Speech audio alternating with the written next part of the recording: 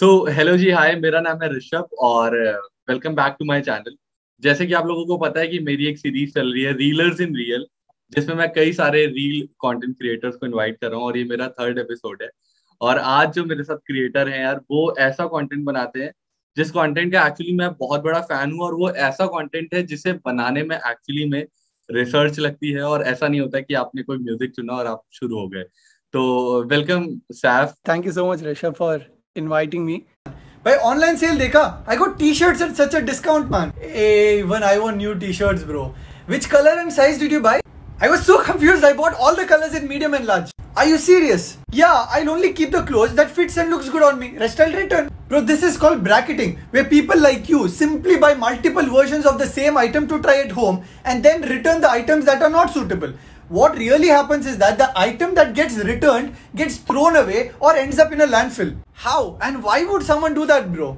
By mainly for two reasons. So during the return process, some of the items do get damaged. So when they reach back to the retailer, it's not in a position to be resold. And the entire return process is also an added cost to the retailer. And considering they have limited warehouse space, retailers feel it's cheaper for them to discard than pay extra for these old items. But is that a big issue? या bro and this buying trend is only increasing post the pandemic मेरा जो content है वो I would like to share कि ये sustainability पे है। So so basically जो एनवायरनमेंट और सोशल कॉजेज जो भी होता है कि हाँ. उसके ऊपर मैं कंटेंट बनाता हूँ। So particularly at the moment मैं शॉर्ट फॉर्म कंटेंट कर रहा हूँ बट हाँ उसमें भी हाँ रिसर्च तो सही लगता है उसमें। और मैं मेरा पहला सवाल तो यही है कि जो आपका यूज़र नेम है दी सस्टेनेबिलिटी गाय ये कैसे आपने डिसाइड हाँ. किया कि यार मुझे ये यूज़र नेम रखना चाहिए तो बेसिकली अभी जो सस्टेनेबिलिटी इज़ लाइक उसके मतलब I just wanted a catch right now sustainability is just at the initial phase कि और हाँ. मेरा अपना नाम से मैं नहीं करना चाहता तो मैं तो अच्छा एक अपना main focus is to start you know ये जो सस्टेनेबिलिटी जो भी टॉपिक है उसका कम्युनिकेशन और उसका अवेयरनेस ज़्यादा करने का था तो देन देन uh, मैंने और एक और जहाँ कहीं पे भी मैं पढ़ा था कि जो भी सस्टेनेबिलिटी फ़ील्ड में है ज़्यादातर फीमेल्स हाँ। हैं। तो the people of men in this field is quite low so मैं सोचा कि यार अच्छा तो ये एक बहुत अच्छी नाम है। मतलब इवन हाँ. दो दोनों. चीज़ हो जाएगा मतलब वन इज़ सस्टेनेबिलिटी टॉपिक भी हो जाएगा और number of men coming to the field also हाँ उसको भी uh, ये करना था। तो दोनों सोच के मैंने ये लगा दिया था। अच्छा और ऐसा मतलब ये भी एक सवाल है कि आप अपनी लाइफ में कुछ ना कुछ तो कर ही रहे होगे रील बनाने से पहले। तो ये आइडिया कहाँ से आ गया कि यार रील बनाते हैं और अपने मतलब अपने आप को इस तरीके से एक्सप्रेस करते हैं और अपना जो कंटेंट है वो मतलब रील के फॉर्म में दिखाना? इससे पहले मैं काम कर रहा था ऑफ़िस जॉब था मेरा फुल टाइम सस्टेनेबिलिटी कंसल्टेंट होके। तो अच्छा। वहाँ पे मैं जब जो कर रहा था तो that is towards businesses so businesses को जैसे सस्टेनेबल करना है वो मेरा काम था। रोजी रोटी वो था। फिर हाँ. मैं सोचा कि कुछ अपने से मतलब I I have not seeing some impact being created तो दैट वाज द मेन कि यार मुझे कुछ खुद से कुछ करना है। तो हाँ. तब मैंने सोचा कि यार जो भी अपना नॉलेज है सस्टेनेबिलिटी में उसको मैं इंस्टाग्राम पे पोस्ट करना शुरू करता हूँ। तो इससे पहले मेरा एक और दूसरा पेज था दो जो चला नहीं। For six month something I work on that तो और वो चला नहीं। और बिकॉज़ देन आई यार कि यार कि ये तो बहुत एफर्ट तो डाल रहा हूँ but I am not able to see the result फिर हाँ. मैंने खुद को खुद का पैटर्न मैंने देखना शुरू किया कि यार मैं क्या कंज्यूम कर रहा हूँ तो आई रियलाइज़ कि यार जो पैंडमिक के बाद ना मैं रील्स ज़्यादा कर रहा था तो मैं सोचा अच्छा जो भी मैंने रिसर्च में पोस्ट में कर रहा हूँ उसको मैं रील्स में अगर करूँगा तो हाँ. शायद रीच बढ़ सकती है उसकी तो okay. मैंने वो पेज में भी रील्स डालना शुरू किया बट मैंने सोचा कि यार इसमें ज़्यादातर बहुत टेक्निकल है चीज़ें हाँ. जो भी उस पेज में डाल रहा था तो थोड़ा फन के लिए मैंने एक और ये वाला पेज क्रिएट किया था और और ये वीडियो भी मैं डाल नहीं रहा था मैं अपना ग्रुप्स में अपना फैमिली ग्रुप में डाल रहा था फिर फिर फिर उसके बाद मेरे कजिन ने बोला कि यार अच्छी मतलब वीडियोस अच्छी है तो डाल दो वहाँ पे तो उस तरह से स्टार्ट हुआ बट हम्म। हाँ इट वाज अ जर्नी कि यार पहले तो मैंने ट्राई किया जो फेल हुआ उसके बाद आई थॉट कि यार अच्छा तो अभी शॉर्ट फॉर्म वीडियो कंटेंट चल रहा है तो शॉर्ट फॉर्म वीडियो कंटेंट अगला सवाल मेरा ये कि जो आप जो भी रील पोस्ट करते हो उससे पहले आप कितना रिसर्च करते हो? मतलब कितना टाइम लगता है? और क्या वो सोर्सेज होते हैं रिसर्च करने के? कि अगर कोई और भी ऐसा कंटेंट बनाने की सोच रहा हो और ऐसा कंटेंट क्रिएट करना चाह रहा है तो वो कहाँ से रिसर्च कर मतलब कर सकता है और कितना टाइम लगता है कितनी मेहनत लगती है? Uh, मेरा तो कुछ अलग ही चल रहा है मेरा पता नहीं I don't know if other creators are following it तो मैं जैसे कर रहा हूँ पहले तो कभी कभार जो भी मैं पढ़ता हूँ तो उसको I feel when I read I think in terms of content इसका मैं कुछ कर सकता हूँ कि नहीं.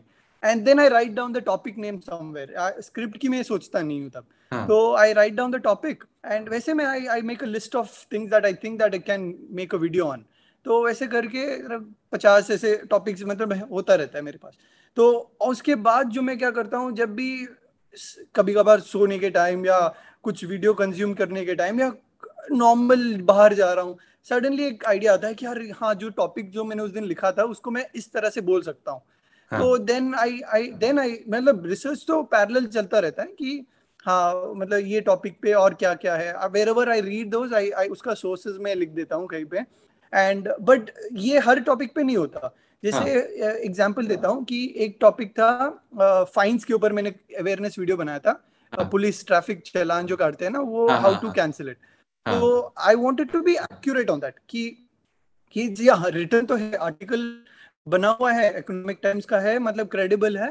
तो हाँ. मैं सोचा अच्छा ये तो सही है but what is the loophole मतलब अगर इतना आर्टिकल है why are people not following it तो whatever what I to do for such videos is that I to go to R T office गया था मैं आर टी ऑफ़िस जाके देखा था कि उनसे मैंने पूछा कि यार आप बताओ ये जो आर्टिकल लिखा हुआ है वो सही है कि नहीं मतलब then I get to know that यार हाँ यार मतलब then while going there I get to know कि यार हाँ मतलब ये ये चीज़ करेंगे तभी ये आर्टिकल मतलब ये आप क्लेम कर सकते हो वरना नहीं हो सकता Bro, I heard traffic police caught you cheese today. 10,000 fine, huh? Yeah, bro, I didn't carry my license and other documents. Luck only is bad. But don't you know, as per the law, you don't have to carry any of the hard copies. You can just upload all the documents online via DigiLocker or M Parivahan app. Yeah, that law I got to know today only. Hey, now what to do, bro? I already got caught. Tomorrow I'll go and pay off that fine. I have 7 to 15 days, it seems, to clear off the dues. Yeah, 7 to 15 days is there. That's what good thing you did by not paying on spot. But wait, you have all the original documents with you, right? Yeah, bro, I have all the documents at home. Hey, then why don't you go to the RTO or police station with the original document and get your challan cancelled? Some RTO even charge 100 rupees per document for cancellation. This way you don't have to pay huge fines only. Seriously.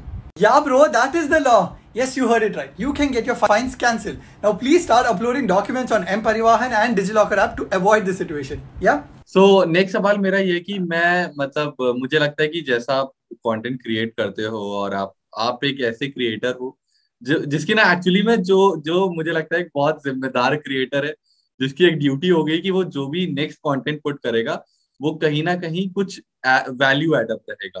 तो लेकिन मेरा सवाल ये है कि शायद ऐसे content creators के पास जब पेड कोलैबोरेशन या जब ब्रांड्स आती होंगी तो उनको मोस्टली ब्रांड्स को नो ही करना पड़ता होगा, क्योंकि वो ब्रांड्स शायद कहीं ना कहीं जेन्युइनली वो सपोर्ट नहीं कर रही होती हैं आपके कंटेंट से रिलेटेड तो क्या ये मुश्किल आती है? ये मुश्किल आपको फेस करनी पड़ती है या बहुत चूज़ करना पड़ता है फ़िल्टर लगाने पड़ते हैं ब्रांड कोलैबोरेशन करते वक्त? That is the challenge that I face to be honest क्या कभी कभार लगता है बुरा ना लग जाए यार दूसरों को? मतलब I have my set of principles जो मैं फॉलो करता हूँ। जो भी और मैं सबसे, जो भी एजेंसी हो या ब्रांड्स हो जो भी मेरे से पहले अप्रोच करते हैं मैं पहले ही बोलता हूँ कि मेरा तो सर्टन प्रिंसिपल्स है उसको फॉलो करके ही मैं कोलैबोरेशन करता हूँ वरना इट्स इट्स नॉट कि यार मैं सब करूँगा। तो I that is kind of a disclaimer that I that I put I don't know how the brand takes it I hope seriously hope that they take in the right way and and and and then if they ask me for inputs I do share कि यार क्यों मुझे लगता है कि आपको जहाँ improve करना है जो भी करना है अपने हिसाब मतलब अपना प्रिंसिपल्स छोड़ के मैं नहीं करता क्योंकि आई feel I have to have that kind of responsibility when I'm putting out some form of promotions in in the public domain. तो ये मैं पहले से कर रहा हूँ मतलब आने से पहले मतलब मैं ये सोच के आया था कि जो भी करूँगा मतलब अपने प्रिंसिपल के साथ ही करूँगा वरना नहीं करूँगा टाइप्स सर ये भी सवाल है कि मतलब ऐसा बहुत कम ऐसे लोग होते हैं ना जो इस फ़ील्ड में आ पाते हैं या कहीं ना कहीं हम्म। उन्हें मुझे लगता है कि पर्पस मिल जाता है अपनी लाइफ का या ऐसा कुछ होता है। तो आपके साथ ऐसा क्या हुआ कि आप सस्टेनेबिलिटी की तरफ़ बढ़ गए? तो इसका एक स्टोरी है। uh, मैं इंजीनियरिंग किया था। uh, 2015 में बैंगलोर uh, से एक कॉलेज है। मैंने इलेक्ट्रिकल इंजीनियरिंग किया था। Okay. और जैसे सब कुछ मतलब मोस्ट पेरेंट्स मोस्ट स्टूडेंट्स जैसे होता है कि यार कर दिया मतलब पेरेंट्स ने बोल दिया कर दिया अभी क्या? तो इंजीनियरिंग के बाद आई टुक अ ब्रेक कि उसके बाद मैं सोच रहा था कि यार मुझे कौन सी सब्जेक्ट पसंद थी उसमें और मतलब क्या करना चाहता हूँ लाइफ में। फिर मुझे पता चला कि यार एक ही सब्जेक्ट पूरे चार साल में मुझे एक ही पस, एक ही सब्जेक्ट पसंद आया था वो है रिन्यूएबल एनर्जी और उसके बाद मैंने उसके ऊपर पढ़ना स्टार्ट किया कि यार उसमें जॉब मिलेगा कि नहीं और वो सब। फिर मैंने पढ़ते टाइम मुझे याद मुझे I I got to know that कि the field is quite big uh, it's not just about mm. renewable energy and uh, so then i i moved away from an, uh, an engineering background to yeah this is a social sciences degree like sustainability yeah. is not an engineering ये वाला तो मैंने masters किया and then I got into the field मेरा second last question है ये uh, मैं इस सवाल में बस आपसे मेरे पास कुछ डिफरेंट डिफरेंट कैटेगरीज हैं उनमें मैं चाहता हूँ हाँ. क्योंकि आप हर चीज़ से रिलेटेड ना कुछ सस्टेनेबल अप्रोच रखते हो तो मैं चाहता हूँ हम्म। मेरे पास पाँच एक्चुअली में छह पॉइंट्स है।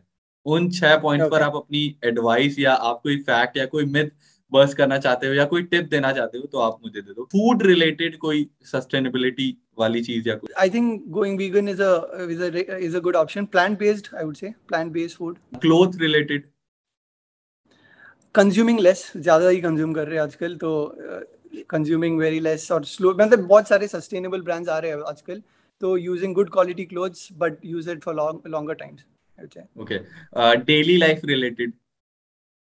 Uh, जो भी है whatever inspires you मतलब जो भी वो small tiny bit that you can do in every day that will actually keep the motivation going so छोटी छोटी चीज़ जो भी आपको sustainable लगता है वो करो और that will keep you going finance related uh, i'm still learning so sustainable finance is an area that i want to venture into but uh, financial knowledge सबको होनी चाहिए and so I feel that something that I lack and so I am learning about it ऐसे लोग जो अभी corporate field में हैं और उन्हें भी ध्यान में रखना चाहिए ऐसा कुछ? मैं भी कॉर्पोरेट में ही था सो सो आई फील मतलब it's an experience so whatever you you may like it you may not but it's it's an experience that's going to shape you so take it I feel और last है students के लिए कोई? अपना जो भी है so right now there's a increasing craze among people to make money so the ethics part of it is kind of missing so i think bringing that ethical viewpoint also when you create wealth that is something that i feel uh, when we grow up that should be